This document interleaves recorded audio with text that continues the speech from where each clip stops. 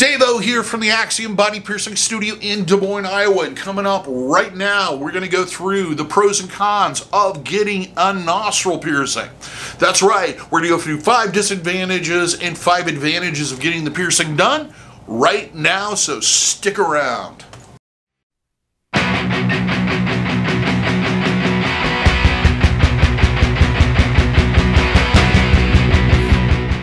Just a little bit of an introduction if this is the first time you've come across one of my videos. My name is Davo. Um, I'm a professional piercer from Des Moines, Iowa. Um, I own and operate the Axiom Body Piercing Studio and have done since 1994. Over the years, I have performed thousands upon thousands of nostril piercings.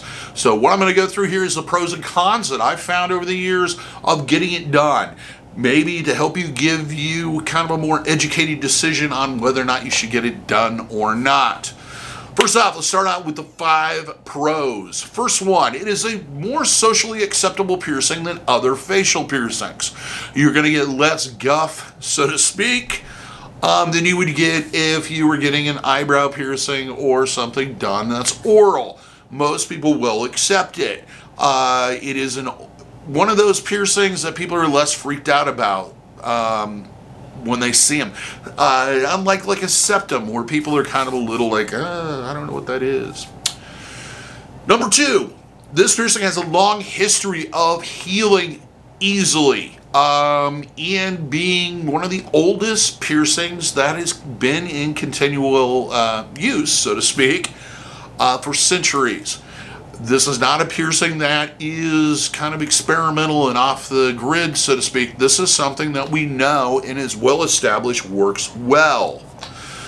Not prone to migration or rejection. Migration is where a piercing moves or shifts during the healing process, and rejection is where the body completely rejects it. Nostril piercings are not prone to this at all. Usually, like most cartilage piercings or piercings done through cartilage, they kind of stay put once they're done. Fairly easy to heal. You're looking at a fairly short healing time, usually roughly about 8 to 12 weeks, during which you're going to have to do some uh, cleaning and maintaining, but and avoid some things that I'll get into a little bit later when we get into the pro or the cons. But it's a fairly easy piercing to do, uh, to heal. Most people don't have an issue healing this particular piercing. Number five, there's a wide variety of different types of jewelry you can wear. Everything from more bold rings um, in different styles of rings to very subtle nostril screws or stud style piece of jewelry, uh, pieces of jewelry like labret studs and etc. So there's a lot of variety out there for you to work with, including materials. Now let's get into the disadvantages, the cons. It can affect employment. Um, or even sports. Uh, if you are uh, going out and looking for a job it's one more thing that people are going to judge you on. Uh, especially if you're in a high professional career or trying to obtain one.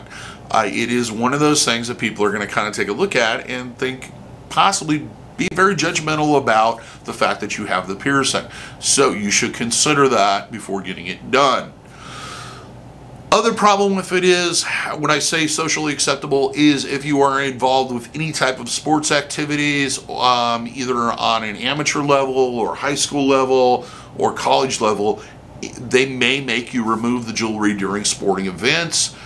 That varies from thing to thing. It's definitely something you want to consider before you get it done. It is going to require, number two, you can't sleep on it. Uh, probably one of the most common causes of problems I see with nostril piercings is after a few weeks it'll stop hurting and people will start sleeping on them. You cannot sleep on the piercing during the healing process even though it doesn't hurt to apply pressure to it.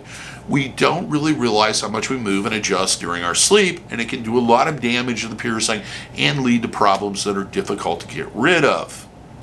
Next thing, uh, you cannot wear makeup in the area, especially powder-based or foundation makeups, until it is healed. All those things can lead to serious problems, including laryngeal cysts, and once they form, they can be very difficult to get rid of. This particular piercing, because of the sleeping issue and because of its location, can sometimes be a little bit more prone to scarring and other issues if you don't take care of it properly. And because it's on your face, that is something you need to concern, concern yourself before getting it done.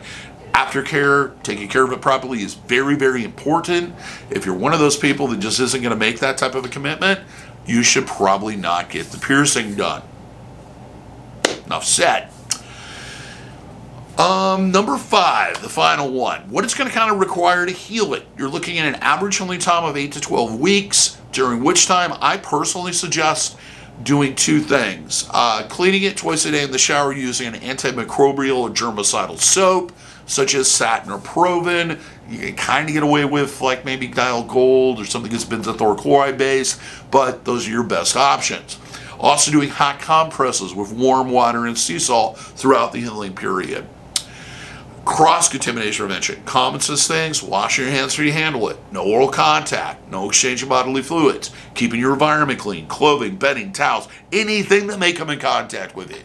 Not submerging the piercing in the bodies of water you can't control the quality of, which is pretty much everything but your own cleaned and well-maintained bathtub. So if you're planning on going on a vacation and it's going to involve some swimming, you probably want to wait till afterwards. Keep pets away from it. Do not let them sleep in the bed with you. They tend to draw contaminants into your bedding, um, and that can lead to an infection. Uh, already talked about makeup. Um, also avoiding sleeping on it.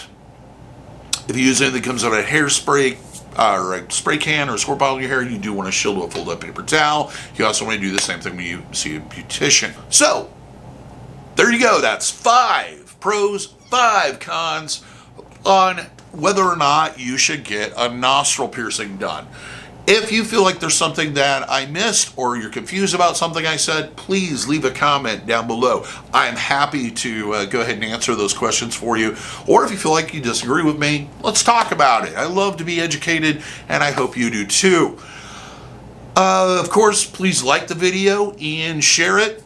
And uh, if you like this video and you would like to see more of this type of content on body piercing and tattooing, our focus is always education. Uh, please subscribe and hit that notification bell. Until then, I hope to see you for your piercing needs in the future.